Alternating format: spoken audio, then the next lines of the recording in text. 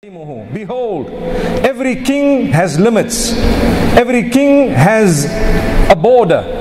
Limits beyond which you are not allowed or you will not be allowed to cross. Every king has rules, regulations. And indeed, the limits of Allah are those things He has made prohibited. Don't go there. Subhanallah. Then it continues making mention of the heart. And this is what we're trying to get to.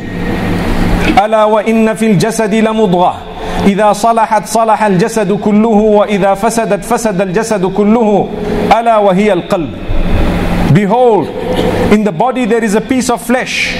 If it is pure and clean and good, the entire body will be pure and clean and good.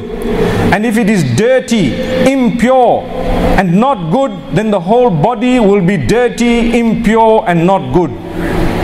Behold, that organ or that piece of flesh is the heart.